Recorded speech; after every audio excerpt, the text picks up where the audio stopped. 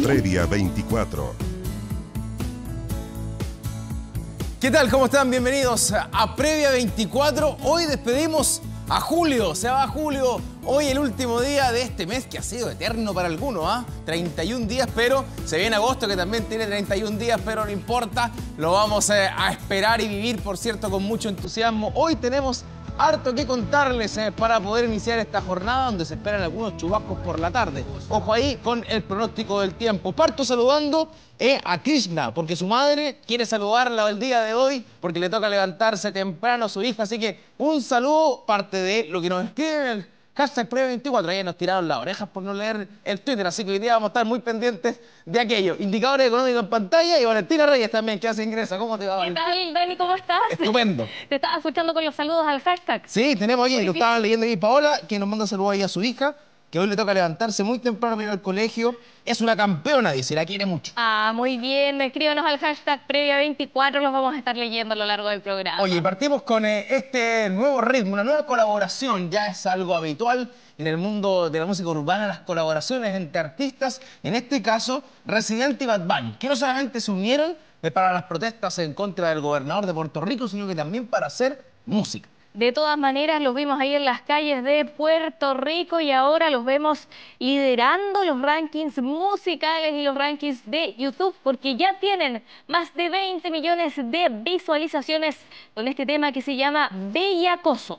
Así es, es una colaboración que se grabó en medio de todas estas protestas, eh, donde ambos artistas se unieron en poses de lo que clamaba la ciudadanía de Puerto Rico, la renuncia de su gobernador, y con Bellacoso, un tema con ritmo pegajoso, los boricos invitan al oyente a unirse a su perreo asqueroso.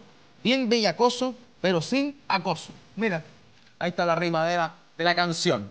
El eh, trabajo justamente fue publicado días después de que Ricardo Rosselló renunciara a su cargo tras una ola de masivas protestas que se realizaron en su contra. Es una letra que contiene referencias contra el acoso machista, elementos feministas como la tolerancia por el aspecto físico y decisiones de cada mujer.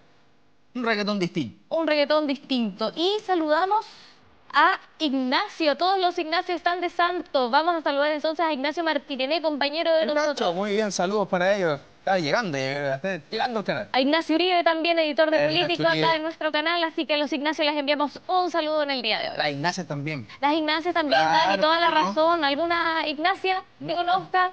A ver, yo tampoco, pero bueno. Las bueno, saludos ahí, quienes tengan ahí el nombre, nos pueden escribir, los saludamos también. Quienes estén de cumpleaños también el 31 de julio, vamos a estar también saludándolos a todos ustedes. Veamos cómo va a estar la temperatura. Hoy desperté, me asustado, dijeron ¿Por que iba a llover en la noche. Sí, eh, de hecho va a disminuir la Escuché en la temperatura. radio y dije, mi. ¿Dónde, La- el paraguas. ¿Dónde está mi parca? Es a la tarde-noche, eso sí, ah, así que si va a volver temprano a la Que casa no salga después de las.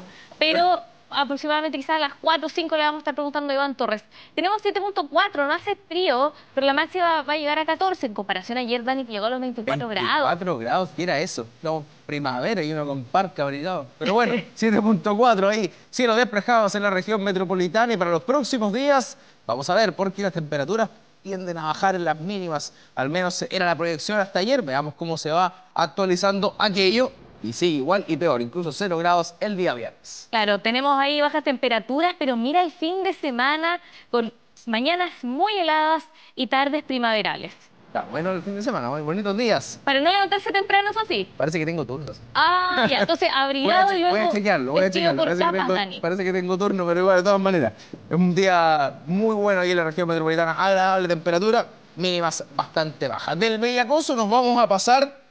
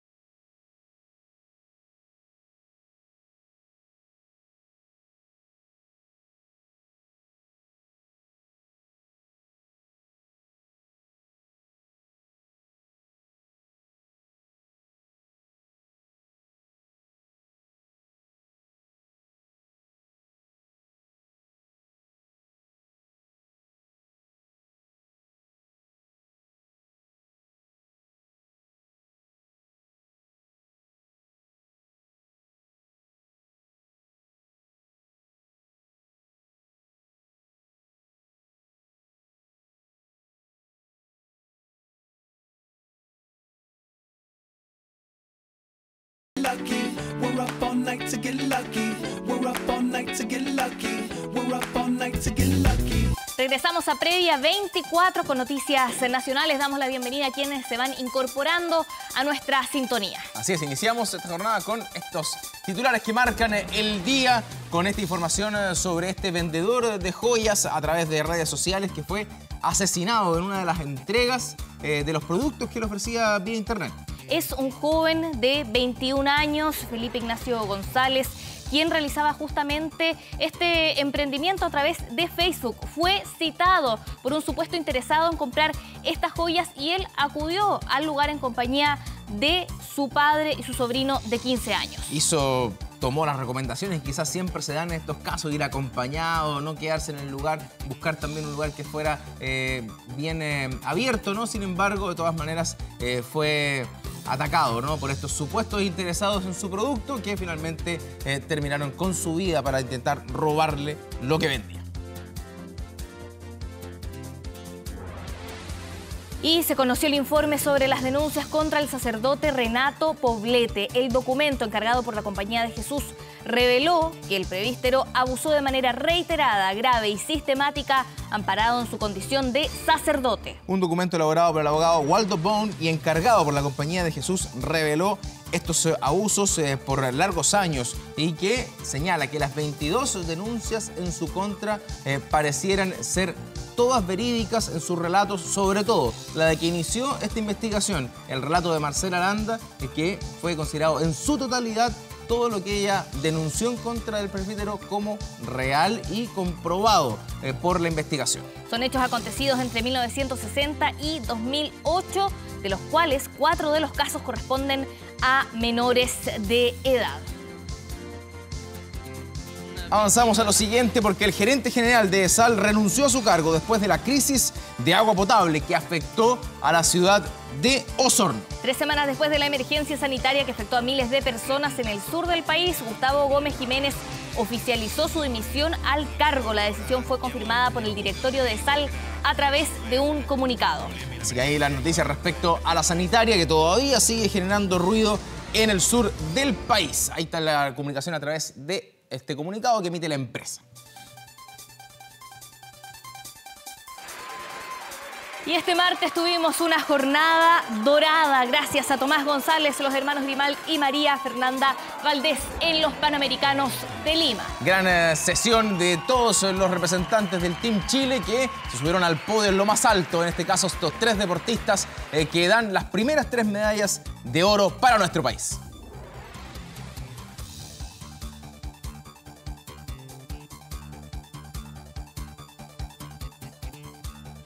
Hola, soy Tomás González, gimnasta chileno. Acabo de sacar la primera medalla de oro para mi país.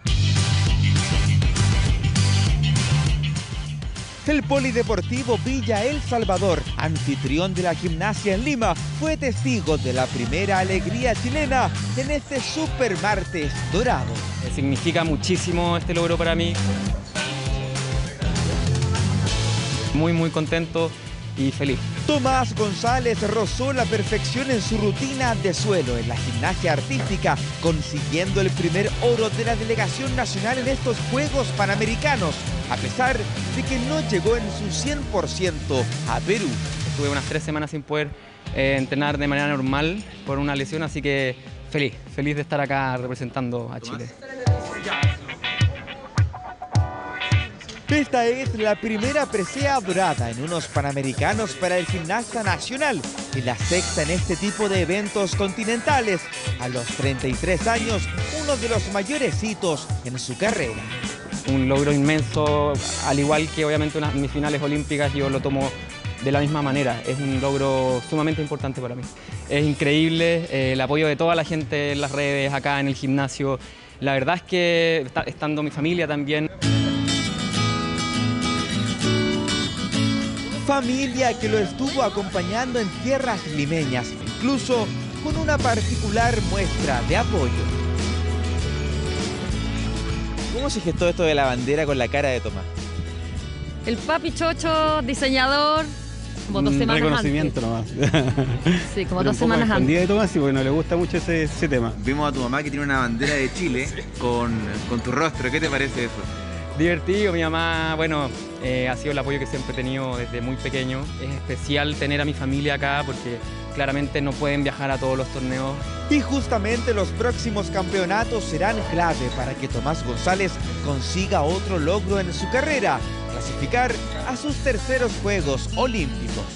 He cumplido con todos los objetivos que me he propuesto dentro de mi carrera, así que eh, si sale todo bien, estaré pensando en Tokio y preparándome como siempre para poder representar nuevamente a nuestro país en lo más alto.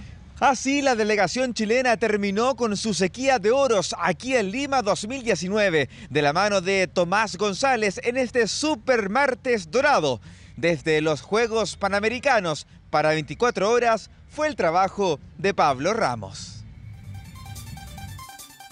Tremendo, ¿ah? Buena presentación de Tomás González, que venía de una lesión ¿ah? a la espalda, por eso se inscribe solamente en suelo y no en otras eh, disciplinas de la gimnasia, pero logra un puntaje altísimo eh, con poquitos errores que le significan quedarse con la presea dorada. La primera en ese momento eh, para el Team Chile. De todas maneras, si Tomás González le preguntaron por el retiro y él dijo que le queda para rato. Así que ahí está disfrutando de este triunfo en los Panamericanos, pero no fue el único chileno que nos vistió de oro este día martes. También la representante en el levantamiento de pesas, estamos hablando de María Fernanda Valdés se coronó con la medalla de oro. Así es, eh, la coquimbana logró quedarse con la presea dorada en el total olímpico, eh, porque en el, arranque, ¿no? Eh, primera instancia quedó en segundo lugar, por ende tenía que dar un mejor esfuerzo en el envión, lo logra y sumado a esas dos competencias se queda con la presea dorada del total olímpico. Eso sí, esto no, no significa un pase directo a lo que son los Juegos Olímpicos, debe todavía luchar por aquello, así que decía ella, bueno, un día de celebración y ahora a trabajar para poder clasificar a los Juegos Olímpicos. Ella fue la mejor en la categoría de los 87 kilos y logró levantar 147 kilos en su último intento, como decías tú, Dani dos medallas de oro, pero faltaba la tercera. Y fueron los primos Grimal, eh, que en un partido muy difícil tuvieron varias oportunidades de quedarse con el encuentro, desperdiciaron oportunidades importantísimas, entendemos ahí por los nervios, que significa estar en una final de esta categoría. Así que sin duda es parte de lo que se vivió ayer en Lima, pero tenemos los detalles en la siguiente nota.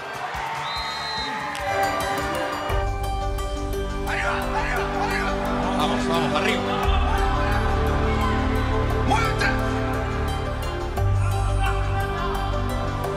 Vamos, vamos Fernanda, es válido, es válido, es válido lo de la chilena, lo celebra Panche. Fue el momento definitivo cuando María Fernanda Valdés conseguía el segundo oro para la delegación chilena en Lima 2019. De ese cuerpo técnico, otra vez lo hizo la chilena. Un trabajo arduo, un trabajo eh, largo. Esta medalla es gracias a, a un cuerpo técnico y a un cuerpo médico grande. Valdés partió con la especialidad de arranque donde no sobrepasó los 112 kilos quedando en segundo lugar. Vamos Fernanda, no, no pudo. En envión debía dar vuelta a la situación para alcanzar lo más alto del podio y la coquimbana lo logró. Hoy día estamos contentos, hasta ahora estamos contentos, pero ya mañana tenemos que volver a seguir la preparación para el Mundial y la clasificación a los Juegos Olímpicos. Entre ambas especialidades sumó un total olímpico de 259, la actual quinta mejor marca del mundo. En Coquimbo, la familia de Valdés no puede más de orgullo. Me emocionó mucho verla cuando cantan la canción nacional y ella en su interior un rato la cantó y después cerró sus ojos. Esta es una situación de, donde terminan muchas emociones, muchas cosas que se encuentran, entre ellas el orgullo. ¡Vamos, vamos! Valdés fue campeona del mundo en 2017, mismo año que fue reconocida como la mejor deportista del año por el Comité Olímpico de Chile. En Guadalajara 2011 logró medalla de plata, igual que en Toronto 2015. Ahora en Lima se le dio el oro igual que a los primos más famosos de Chile por estos días. Esta es la primera. Corto el servicio de Virgen. Lo puede definir Marco. Se acabó. Se acabó.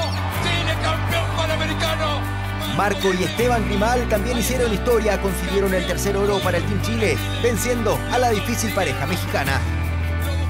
Fue un camino súper largo, un camino donde le pusimos mucha dedicación, mucho sacrificio. Esteban de 29 años junto a Marco de 31 vienen jugando profesionalmente desde 2011. El menor nació en Linares, mientras que el mayor en la isla grande de Chiloé. El amor por este deporte viene de familia y este 30 de julio ven coronado años de esfuerzo con un oro panamericano. Tremendo, tremendo lo de los primos. Ha sido un día redondo para el país. Nosotros estamos aquí eh, representando un equipo bien grande que es el Team Chile. Lo celebra el equipo, lo grita Fernanda. El abrazo de ese cuerpo técnico. Lo buscaron. Y ahí están, están en lo más alto del podio. Martes dorado para el Team Chile en estos Panamericanos de Lima 2019, una delegación que viajó a Perú con el objetivo de meterse dentro de los 10 mejores países del medallero. 6 con 4 minutos. Vale, ¿tú sabes lo que pasa con el mago? Yo no sé realmente. Ha tenido unos mensajes medios crípticos en redes sociales, en su Instagram. Está, no está el mejor ánimo el Hablamos de- del mago Jorge Valdía, que está lesionado desde el mes de mayo, finaliza contrato con Colo Colo eh, al término de esta temporada, pero pareciera que está en un momento bastante extraño. Lo revisamos en sus publicaciones que ha tenido en redes sociales.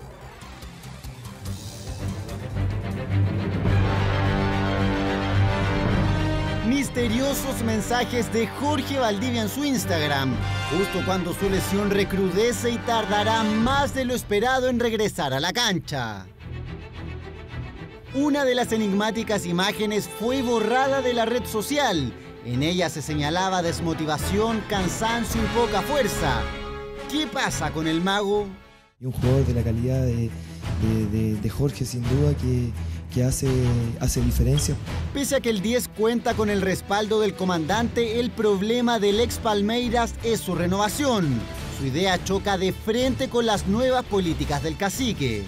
Bueno, hay una institución mucho más grande que cualquiera de nosotros, entonces tiene el, como dicen el show tiene que continuar. Rejuvenecer el plantel y priorizar a los jóvenes es primordial en el nuevo proyecto. Valdivia el 19 de octubre cumple 36 años y su idea es continuar de Albo hasta los 38, o sea, hasta 2021. La política que tiene Marcelo Espina con, la- con el directorio y la comisión de fútbol no se cambia en nada, absolutamente en nada. Al tema de su edad se suma el de su alto costo para la concesionaria. Es el jugador mejor pagado del club y del fútbol chileno. De continuar, tendrá una importante reducción en su salario. Pero no solo ello, ya que su extensión sería solo por un año más. Dos intereses que comienzan a chocar y deberían quedar zanjados pronto. Ellos, más allá de, algunos, de algunas situaciones personales que yo he hablado con ellos, saben de que hoy día tienen, una, tienen un deber por delante y ese deber es defender la blanca. Mensajes misteriosos en sus redes sociales, la política del club y una continuidad que por arte de magia podría desaparecer. Atentos ahí a lo que pasa con el futuro del Mago Valdivia. Entonces, 6 con 7 minutos. ¿Qué tan rápido cambiarías un neumático, Dani? Fácil 5 minutos, 10. Por lo menos 5 Por lo minutos. menos. Hoy vamos a revisar las siguientes imágenes porque la escudería Red Bull batió por segunda vez la carrera seguida del récord paso por pits del más veloz. Ahora, 1, 2, 3. gracias. Maravilloso. ¿Cuánto fue eso? 1.88. Es eh, prácticamente dos segundos, ¿no? Que se demoraron eh, los eh, técnicos y especialistas de la escudería Red Bull en cambiar los cuatro neumáticos, ni siquiera son los dos delanteros. Los cuatro neumáticos. Mira, ahí va de nuevo y se lo perdieron. Mira, va entrando los pits, tranquilo ahí, lo están esperando. Ahora está esperando un ejército de personas, pero Eso de todas sí, maneras, mira. no es uno, pero Chao, gracias.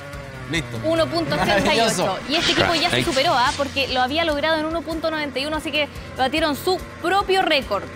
Batieron su récord y aquí algo que viene la siguiente imagen de los espectadores con sus celulares. Eso, ¿Cuál eso quedó bien. concierto de Daddy Yankee Esto fue a los 42 del segundo. para los estadios? 6 con 9 minutos, vamos a cambiar el tono, vamos a revisar noticias nacionales porque ayer los jesuitas entregaron su informe sobre los casos de abuso de Renato Poblete. Hubo 22 denunciantes, 4 de ellas menores de edad. Una investigación particular que eso sí se comprometieron a hacer llegar antecedentes hacia la Fiscalía para poder perseguir acciones penales. Esta investigación ha demostrado de manera contundente que Renato Poblete Bart abusó de manera reiterada, grave y sistemática, amparado en el poder que le otorgaba su condición de sacerdote, en el dinero que manejó de manera personal y en el prestigio que su labor apostólica le otorgó durante sus años como sacerdote.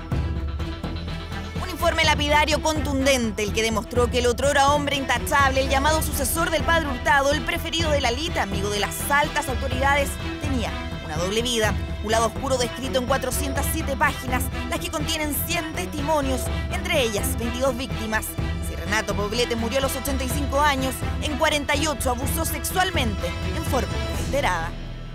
Cuatro de estos 22 casos corresponden a abusos sexuales de menores de 18 años por parte del indagado, referido fundamentalmente a besos y tocaciones de connotación sexual. Fueron ocho años de martirio, de sufrimiento. Me fue despedazando, arrasando palmo a palmo hasta que no quedara nada de mí. Este crudo relato fue el punto de partida de esta investigación. Marcela Aranda en enero de este año abrió la puerta con su testimonio y denunció por primera vez a Renato Poblete abusos y violaciones que marcaron su vida. Todos los hechos descritos por ella han sido considerados plausibles y su relato creíble. Su posición de poder, su red de contactos, su manejo, según el informe indiscriminado de los fondos de la misma congregación, fue su arma para abordar a las víctimas. El denominador común de ellas, personas con vulnerabilidad económica y emocional. Poblete se aprovechó de la confianza que en él depositaron. Entre 1960 y 2008, Renato Poblete Bart mantuvo seis relaciones estables por algún periodo de tiempo. La investigación determinó que en cinco de ellas existe evidencia de abusos sexuales. Un hecho llamativo es que el investigador Waldo Bone, el responsable de este informe, determinó que no hay encubrimiento. Sin embargo, la frase del provincial jesuita posee un agregado. No acreditó la existencia de encubrimiento, tal como se lo entiende comúnmente en el ordenamiento jurídico chileno. Y la propia Compañía de Jesús no solo reconoce los hechos sino, y las otras víctimas, sino que además reconoce las, los propios errores. Y eso yo creo que es un muy buen final para esta primera investigación eclesiástica. Marcela Aranda a través de Facebook aseguró estar satisfecha con la investigación, señaló que es un paso importante y que la está ayudando en este doloroso proceso. Pedir perdón no obliga de ninguna manera a las víctimas a perdonar, pero como compañía de Jesús queremos reconocer el daño que hemos hecho y que ustedes han sufrido tan profundamente. Informe contundente que marca un antes y un después en el comportamiento de las congregaciones que por años mantuvieron abusadores en sus filas, víctimas que hoy fueron reconocidas por la Iglesia, víctimas que seguirán buscando verdad y reparación en la justicia. Un tema que sin duda va a dar que hablar durante la jornada. Hay diversas reacciones que vamos a estar comentando también en 24M. De todas maneras, y avanzamos en otras noticias, les contamos que el gerente general de Sal renunció a semanas de la crisis por el agua vivida en Osorno. Fueron tres semanas eh, luego de esta emergencia sanitaria que afectó a miles de personas en el sur del país. Gustavo Gómez Jiménez oficializó su dimisión al cargo. La decisión fue confirmada por el directorio de Sal a través de un comunicado. De forma inmediata designaron en su reemplazo a José Sáez, quien se desempeñaba como director suplente de la compañía. Ello se conoce luego que la empresa sufriera duros cuestionamientos que incluso llegaron desde el gobierno por su responsabilidad de haber dejado durante 10 días a los vecinos de Osorno sin el suministro de agua potable. Así que ahí las coletazos y reacciones eh, por parte de la empresa. Luego esto que sin duda eh, fue muy, muy complicado para todos los habitantes de la ciudad de Osorno, eh, que generó desconfianza luego también en el suministro, si es que estaba en buenas condiciones el agua, en fin. Lo pasaron mal y por último tiene que haber algún grado de responsabilidad, en este caso de la empresa, al menos con la renuncia del gerente. Hay investigaciones también en curso. Y vamos a revisar una noticia que es positiva para las personas de la zona sur de Santiago porque se extiende la línea 2 del metro y ya comenzaron las obras. 24 minutos del Hospital El Pino hasta Los Héroes. Maravilloso para quienes viven ahí en la zona sur de Santiago, aunque quedaron con gusto a poco, querían que el metro llegara hasta la Plaza San Bernardo. Pero próximamente, los próximos años. Veremos, veremos qué pasa con esta extensión de la línea 2.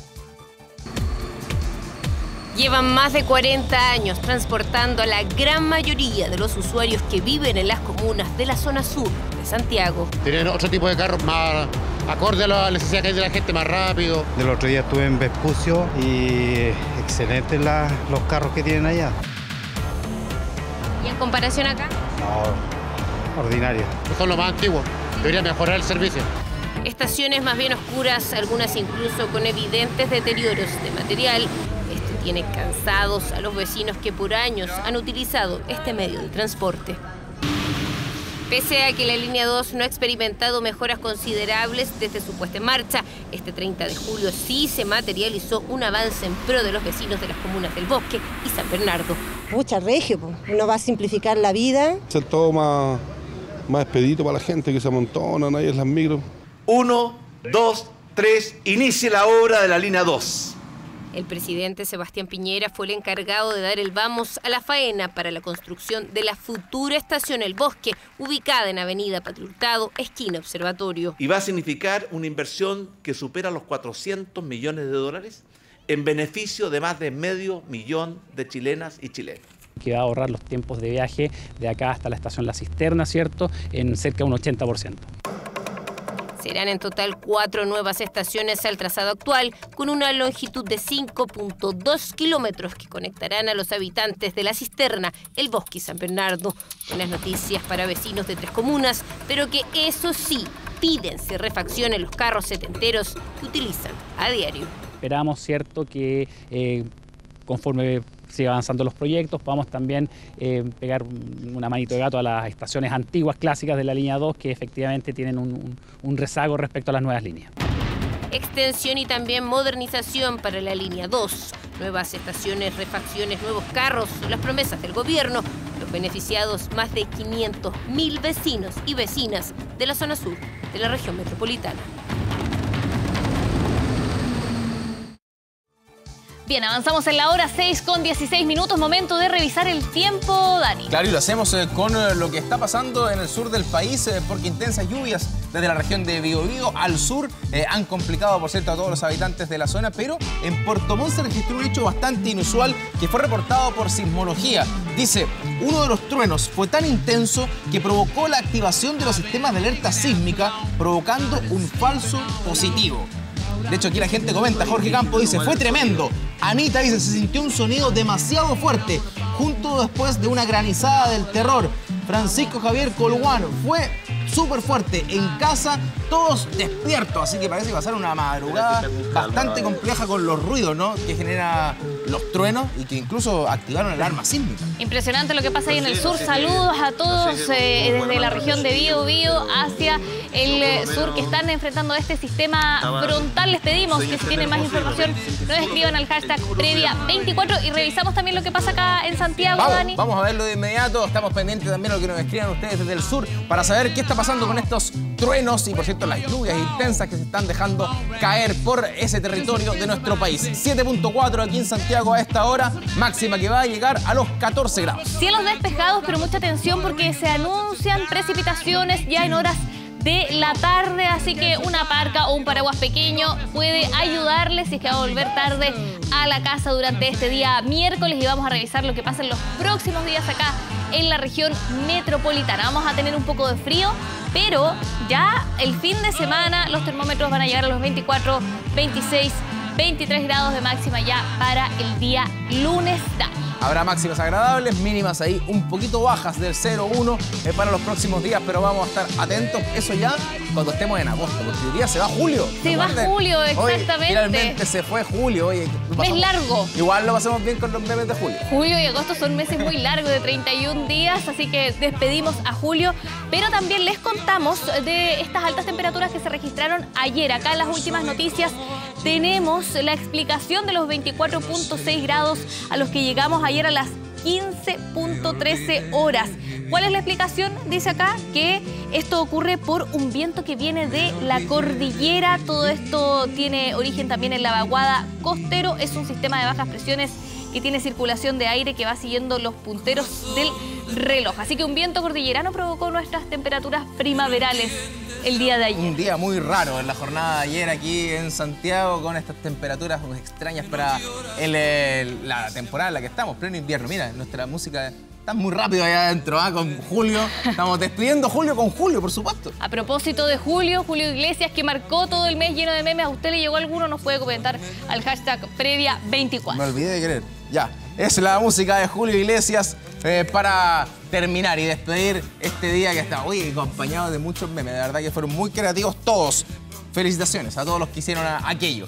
Vamos a avanzar 6 con 20 minutos eh, con eh, esta información del ámbito internacional porque hay un video eh, que de un periodista pakistaní realizando un despacho con el agua hasta el cuello. Literal con el agua hasta el cuello, Dani. Realmente este periodista eh, lo dio todo para el despacho. El reportero se llama Asadar Hussain y trabaja para el canal local GTV News.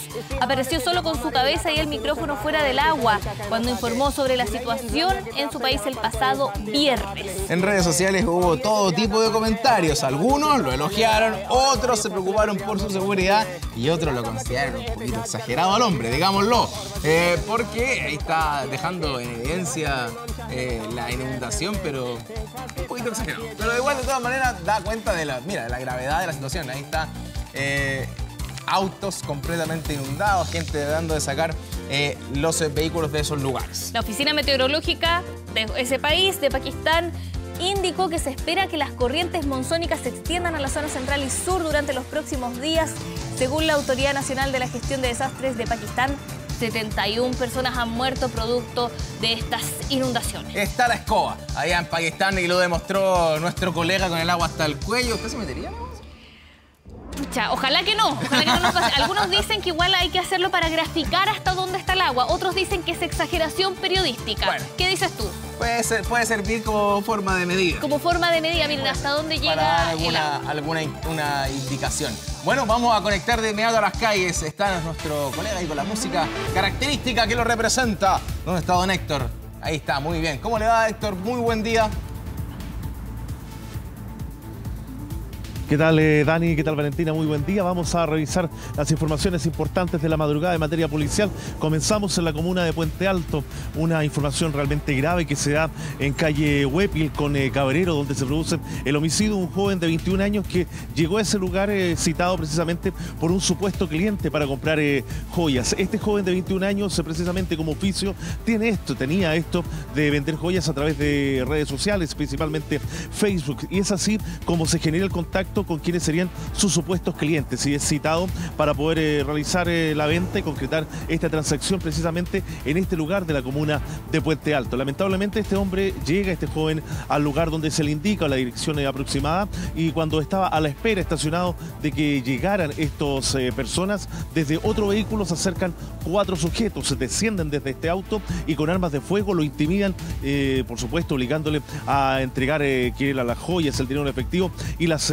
pertenencias eh, personales. Sin embargo, este joven, debido al susto de esta situación, arranca en el vehículo y alcanza a avanzar unos metros y estos individuos le disparan y lamentablemente le impactan directamente en su cabeza y también por la espalda, lo que hizo que este joven eh, terminara chocando con un poste y perdiendo la vida en el lugar. Él se encontraba acompañado de su padre y de un sobrino de 15 años. Los sujetos logran, aprovechando de que él choca, robar las joyas, robar dinero en efectivo y también su teléfono móvil, el que sería clave para poder determinar con quién estaba hablando, ya que el contacto fue a través de WhatsApp. Por lo tanto, esta pista se pierde con el robo de este teléfono y es una de las indagatorias que está realizando la Policía de Investigaciones a través de la Brigada de Homicidio. Lamentable situación. Escuchemos lo que nos comentó la policía respecto a lo que fue este homicidio ahí en Puente Alto. Al llegar al lugar, eh, cuatro individuos le solicitan eh, mostrar la, la que mm, traían y procedieron a intimidarla con arma de fuego. La víctima, mediante todo, todo esto, procedió a darse a la huida, eh, momento en el que los antisociales proceden a efectuar cinco disparos al vehículo en huida, colisionando posteriormente y falleciendo la víctima en el lugar. Yo vi pasar un auto blanco, pero soplado, soplado. Y después se sintieron tres disparos. Llegué acá y lo único que vi el joven que estaba tirado ahí nada más. Pensábamos que eran juegos artificiales porque siempre se, siempre se sienten juegos artificiales. Bueno, escuchábamos declaraciones también de vecinos que vieron cómo se genera esta situación que afortunadamente no provocó mayores eh, pérdidas humanas, dado que, como lo decíamos al inicio, este joven de 21 años iba en compañía de su padre, que iba en el puesto del copiloto, y de un sobrino de 15 años que iba en el asiento trasero y que pudieron haber recibido sin ningún tipo de problema uno de los cinco disparos que realizaron estos desconocidos que le roban las joyas que ofrecía este joven por Facebook y que logran robar eh, dinero en efectivo cerca de 100 mil mil pesos más el teléfono. Es un avalúo cercano al millón y medio de pesos en total las especies que logran robar estos sujetos. ¿Cuál es la pista que debe seguir ahora la policía? Es precisamente el rubro de este joven. ¿Con quién se contacta? ¿Quién es el que hace el enlace para poder eh, llevarlo eh, a este lugar y concretar lo que sería esta fallida venta y que termina con este trágico final? Una situación que es recurrente en redes sociales que se produce quizás por la, venta de vehículos, la venta de artículos eh, que realiza la gente de manera al detalle y que genera estas situaciones de gente que no se conoce, que finalmente realiza transacciones y que se presta lamentablemente para que antisociales utilicen este tipo de situaciones para poder perpetrar algún tipo de delito y que termina, como lo decíamos, con este homicidio, con este joven que iba a vender eh, estas joyas, pero que finalmente fue víctima de un robo con violencia y que termina en su muerte producto de los disparos que le realizan estos sujetos. Situación que está siendo investigada por parte de la Brigada de Homicidios de la Policía de Investigaciones y que por supuesto vamos a tener más detalles durante el transcurso de la mañana. Avanzamos a una situación lamentablemente para un futbolista profesional como es Jason Silva, que ha tenido paso por Colo Colo, paso por eh, Palestino y que nuevamente se ha involucrado en una situación policial. En esta ocasión, imputado por el delito de falsificación de instrumento público, ya que en un, eh, un patrullaje de carabineros y por supuesto una fiscalización aleatoria al azar que realiza carabineros, detectan el vehículo que era conducido por este futbolista, le solicitan sus papeles en un control de tránsito y se dan cuenta que si bien algunos papeles estaban en regla, los otros no. Se coteja con la municipalidad la validez del permiso de circulación y determinan que este es falso, ni siquiera estaba vencido, era falso. El timbre de este documento estaba adulterado y por supuesto él es detenido y trasladado a la comisaría de Puente Alto. Una situación lamentablemente para él reiterativa. Ya tenía un episodio de ser detenido por una licencia de conducir falsa que había sido en este caso retenida anteriormente por eh, conducción de estado de y por supuesto él compró una licencia falsa. Posteriormente también es eh, detenido por eh, conducir en estado de y por intento de soborno. Ya este es el tercer episodio que involucra a Jason Silva con eh, temas policiales y con temas de adulteración de documentos, precisamente con temas de tránsito. Escuchemos declaraciones de carabineros respecto a lo que es la detención de este futbolista. Principalmente en la municipalidad de la comuna de Puente Alto, en el departamento de permiso de circulaciones, los cuales entregan una base de datos que señala que el último permiso del vehículo fue eh, obtenido en la comuna de Recoleta el año 2018.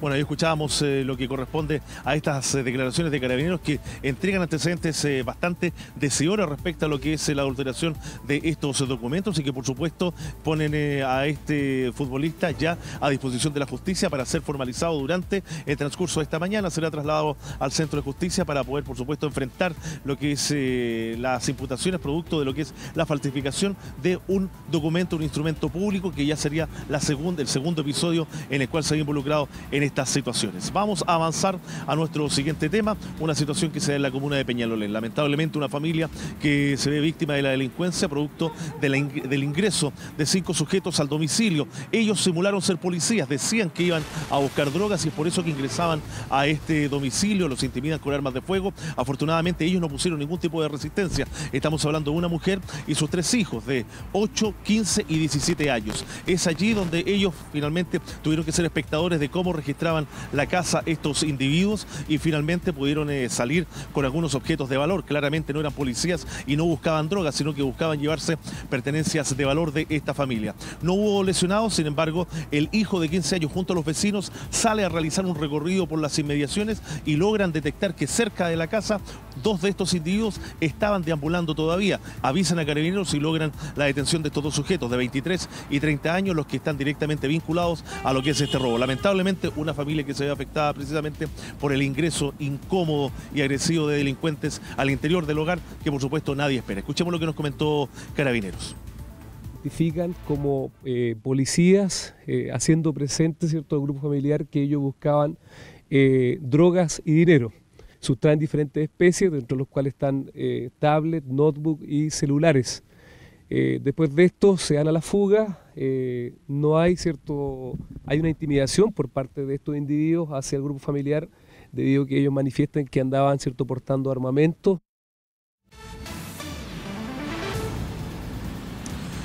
Cinco sujetos, dos detenidos, los otros tres están siendo intensamente buscados, Dani Valentina, en este robo de domicilio ahí en la comuna de Peñalolén. Gracias Héctor por ese completo informe, que tengas muy buen día. También a la Jimmy que nos está escribiendo ahí, a todos los que nos acompañaron en Pre 24. A Cristina Comenzamos también. 24 años, ¿cómo están? ¿Cómo están, Bien? Buenos días. tardes, muy buen día. buen día. Miércoles se va Julio Se va finalmente. Julio. Al fin. Después de tanto meme. Después de como Se tenía que ir 88 a algún días. Algo de lluvia parece hoy día en la tarde. ¿eh? Hay Vamos que preguntar a preguntarle a Iván Iván Torres. Torres. Muy Sí. cambiante, gracias. Nos vemos. Chao, buenos días. Chao.